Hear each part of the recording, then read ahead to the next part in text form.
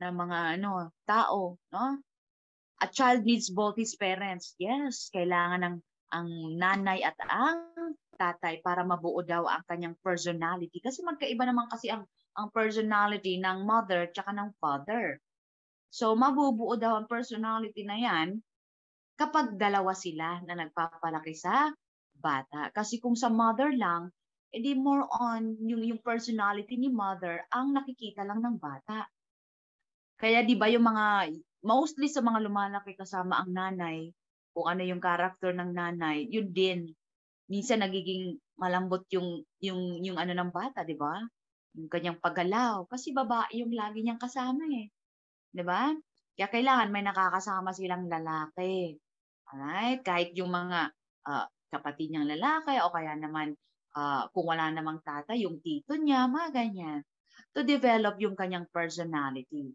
So in the absentee father, it can be a negative influence sa bata. Kaya kailangan ipaliwanag mabuti kung hindi hindi naging successful yung relationship mo doon sa tatay, no? Ipaliwanag mabuti sa anak. At syempre, wag idama yung anak doon sa problema nyong uh, dalawa, no? So, kung galit ka sa, sa tatay ng anak mo, sa tatay lang. So, iparamdam mo pa rin sa anak mo na mahal na mahal siya ng kanyang uh, ama. Yan. Yun nga lang, eh, hindi nagkasundo. Ganon talaga. Hindi maiiwasan yung mga ganyang pangyayari. Dahil uh, maraming tao talaga ang hindi nakokontento sa kung anong meron sila. So, hindi nila iniisip yung kapakanan ng anak. Pansariling kapakanan lang ang iniisip. Tama ba, Aketch? or merong kumukontra sa mga sinasabi ko. Cradle, parang pinaka-foundation. Na. Murag crib. crib talaga. O ayan, naririnig ba ako ng malinaw? Exactly. Yes, of course. Diba? So please lang ha. Super correct. Oh, thank you. So kung may mga ano kayo, violent reaction, uh, magsabi lang kayo, lahat welcome. Opinion natin to eh, tama tayong lahat. Lahat tayo malaki ang tama. Ganun. May ma'am, hingi po ng notes. Salamat po. Notes, ah, naibigay ko na po kay, uh, kay Boss Nolly. Alright? Mm-mm, nasend ko na po sa kanya. Ano pa? Mm. Love Radio Voice. Okay. So, enjoy listening. All right. So next. Mm-hmm, mm-hmm. Aside from home environment, guys, ayan, is school environment, okay, malaki din ang epekto niyan, guys. To perfect the total development of a child's character, is school also plays a major role in shaping the child's personality. 'Di ba? Kapag nagsimula ka nung nagsisimula ka na mag-aral, 'di ba? ako, di ko talaga makalimutan. Nag-grade 1 ako. Hindi ako nag-kinder, no? O, nag-ano talaga ako, grade 1 agad. So, iyak-iyak pa ako noon, mahiyain. Talagang, Diyos ko po, di ko alam ang gagawin ko. Yan. So, well, nung kinausap na ako ng katabi ko, ayan. So, doon na, nat, nat, natututunan mo na kung paano makipag-socialize, makipag-interact sa mga sa mga kap, sa kapwa mo, sa mga classmates mo. 'di ba? Siyempre hindi naman maiwasan, 'di ba, kapag may umiiyak, mahina ang loob, yung yung classmate niya, papalakasin ang loob niya, 'di ba? How sweet. May mga ganong pangyayari, guys. Kahit grade 1 pa lang. Tulungan, makikita mo sa mga kabataan yung mga babies na yan, yung pagtutulungan talaga. Okay? So he comes to know how to engage in playing, laro-laro sila doon, according to the rules and regulations. Siyempre, kasi nasa school na sila, may mga tama, may mga dapat, at hindi dapat silang ginagawa.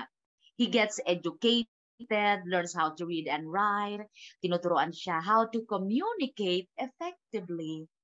Well, iba, iba naman yung, yung uh, treatment, oh, treatment talaga, no? Iba naman yung way ng pagtuturo sa mga toddlers, uh, sa mga 2 years old, 3, yung sa nursery, iba naman po yon Kasi di ba ang kailangan ng mga yon is more on uh, mas natututo sila sa paglalaro, tapos kailangan nilang matulog, 'di ba? Ganyan sa nursery may nap time dapat, may tulog time bukod sa paglalaro. So, ayan, kaya ayoko ng gano'n, kaya diretso ako, nagpadiretso ako sa grade 1 para, nako, ramdam na ramdam na agad yung learning na tinatawag. O, di ba? Masyado nagmamadali. Ay, anyway, so yan po. Malaki po ang epekto ng school environment sa pag-shape ng ating character. What else? Culture, of course. Kultura. Everyone has different character and values because of different cultures. Iba-iba ang kultura natin. Iba-iba ang kultura sa Bicol, sa, sa Bisaya, sa, mm, sa Ilocos, mga ganyan. Iba-iba talaga. Where everyone, lahat tayo na-expose sa iba't ibang mga kultura. O, di ba? Natututunan natin yung mga iba't ibang kultura.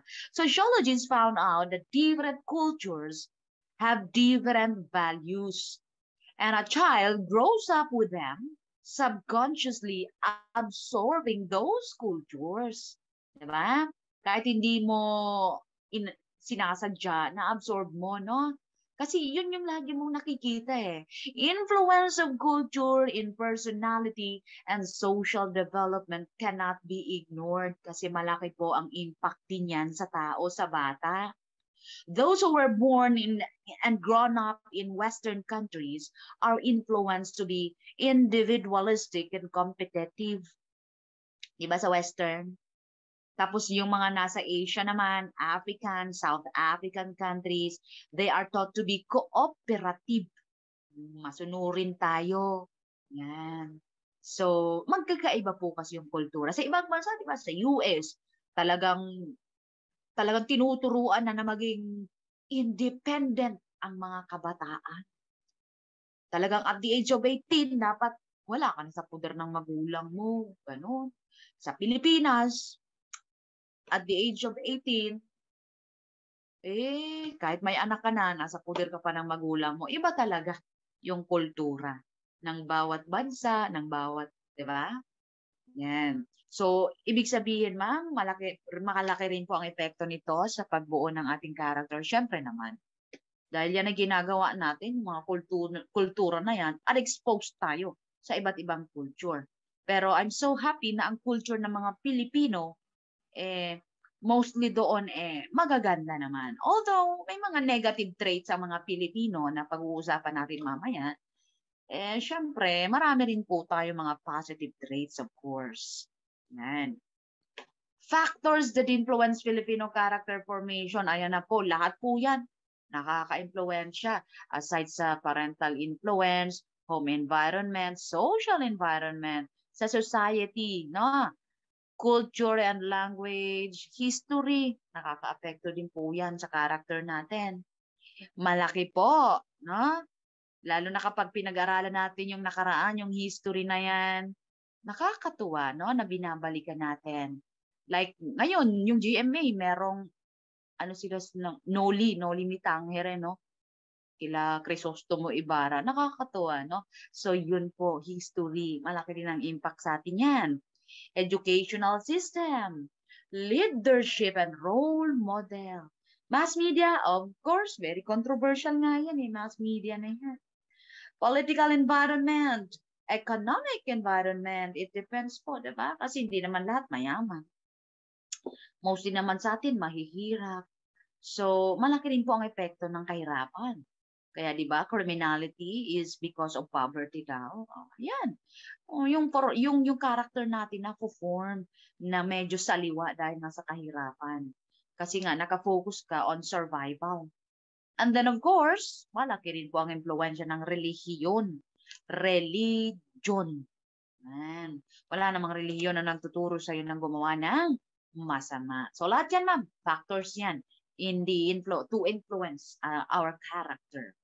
What else? One of the factors of determining characters is being kind, sympathetic, and happy to help.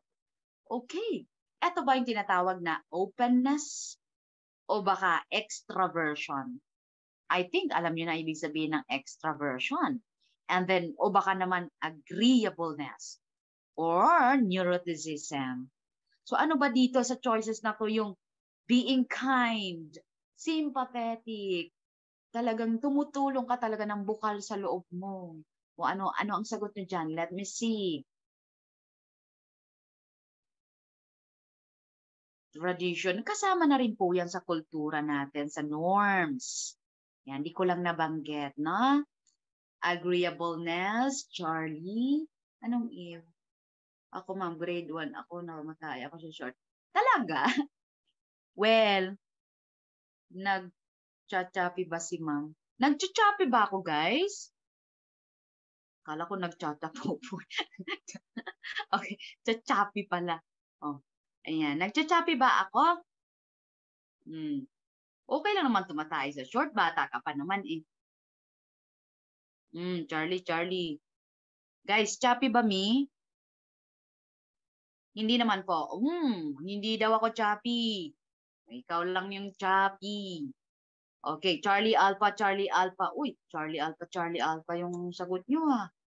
Agreeableness o kaya naman openness. Well, kung tutukusin naman, tingnan mo kasi yung extraversion. Alam naman natin ibig sabihin yan. Being ano, being extrovert, no? Neuroticism, no? Lahat naman tayo nagiging neurotic. Lalo na kapag tayo ay mga may problema na talaga.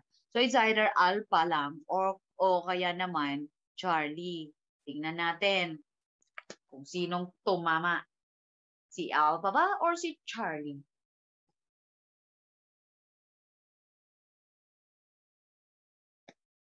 Let me see.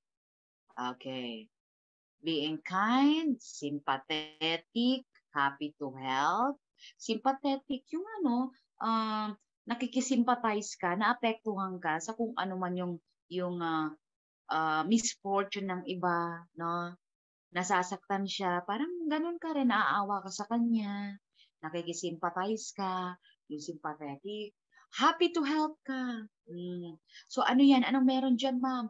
Yan yung tinatawag, isa sa mga factors ha, ng characters, in determining characters, yan yung tinatawag natin guys na agreeableness. Agree. O, di ba pag nagsisimpathize ka, nag-agree ka sa kung anong kanyang nararamdaman, parang ganon. Nakikiayon ka. Mabait ka, nakikiayon ka sa kanya.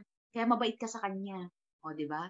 Kasi kung hindi ka nakikiayon, hindi ka nag-agree sa kanya, aba, hindi ka mabait dyan.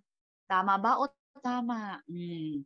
Happy to help happy to serve, parang mga ano sa SM, no? So, agreeableness ang tawag dyan, Charlie. Mm-hmm. So, eto guys, in determining character or personality types, we have five factors. Isa-isay na natin yan. Openness ang tawag. Kapag ikaw ay marunong ka mag-appreciate ng mga bagay-bagay sa iyong paligid, mga experiences, Diba? Kumbaga sa ano, open ka ba? Open-minded ka ba? Hmm. Diba? Kasi kung close-minded ka, eh, hindi ka tumatanggap ng kung ano man ang opinion ng iba.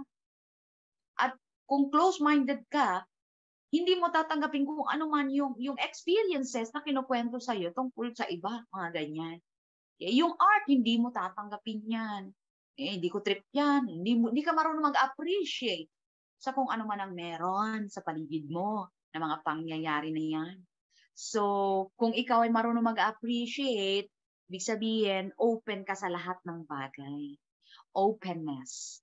Okay? Ano naman yung conscientiousness? Planning ahead rather than being spontaneous. Spontaneous, yung tuloy-tuloy ba, no? Pero, imbis na magtuloy-tuloy, uh, magpaplano ka muna. Hmm. Parang ano mama, conscience. O, syempre, pag may konsensya ka, ano ginagawa mo? O, parang sinasabi sa'yo ni conscience, hmm, bago mo gawin yan, sipin mo muna kung yan ay maganda ba. Diba? Makabubuti. Pagplanuhan. Planning ahead rather than being spontaneous. Yan po yung conscientiousness. Ano ba? Extraversion. Extrovert ka. Kung ikaw ay sociable energetic. Siyempre naman, mga extrovert, mga ano yan, talagang di mapirme, masayahin. Sayaw ng sayaw para maano yung kanyang, ma-express yung kanyang kaligayahan. Diba? Kahit hindi niya kalala, nakausap niya. Diba? Talkative. Napakadaldal. Hmm. So ako, hindi ako extrovert. Hindi ako extrovert kasi hindi naman ako madaldal, lalo kung hindi ko kakilala. Pero kung kakilala kita at may tiwala ako sa'yo, Diyos ko, ihanda mo na ang tenga mo. Di ako titigil kakakwento. Char. Yan, extroversion. Agreeableness. O, ito na. Being kind, sympathetic, and happy to help. Neuroticism, inclined to worry or be vulnerable or temperamental. Neurotic ba? No? Lagi nagwo-worry. Kaya nga 'di ba yung neurotic is uh, or neuroticism kasama din diyan yung pagkakaroon natin ng anxiety na tinatawag. Worry tayo ng worry. Anxiety. O di ba yan yung neurotic fear, yung anxiety? Fear of the unknown, vulnerable or temperamental. Diba? Hot-tempered ka na naman, bad trip ka na naman, problemado ka na naman. So ano yun? Neuroticism po ang tawag dyan. So ito guys, yung, uh, yung five factors uh, na magdidetermine sa iyong uh, klase ng character na meron ka or personality. Kung ikaw ba ay isa sa mga yan, meron ka ba sa mga yan? O, yan. What else? O, ayan. Being sociable, energetic, and talkative is a factor in determining character. O, kakasabi ko lang yan. O, ano sagot niyo dyan? Extraversion, agreeableness, openness, neuroticism. Let me see kung may tumama.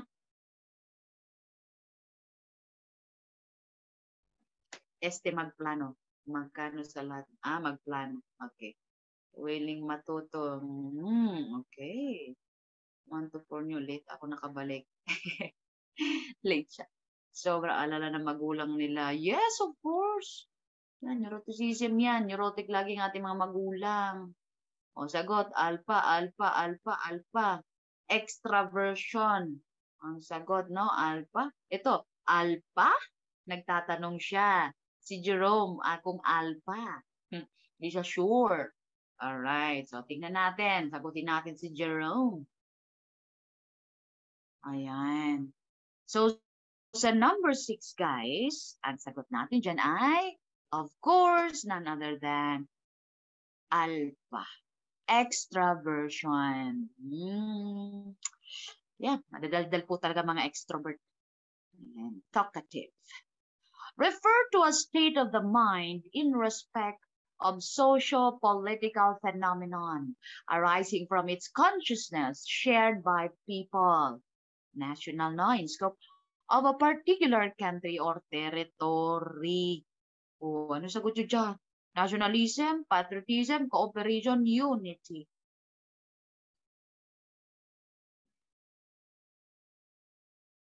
Let me see.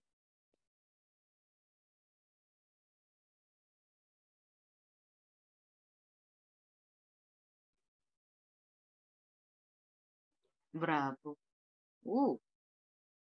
Bravo.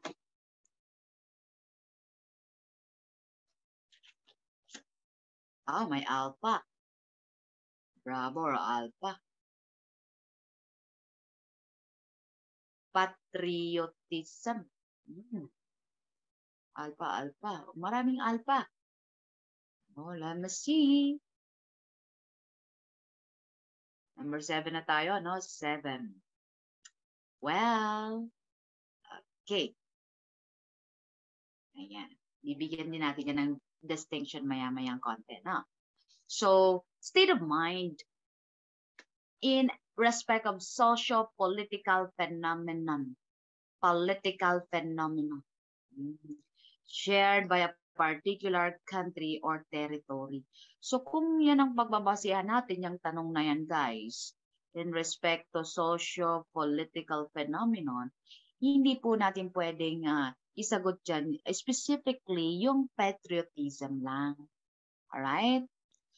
Ito po ay more on sa nationalism.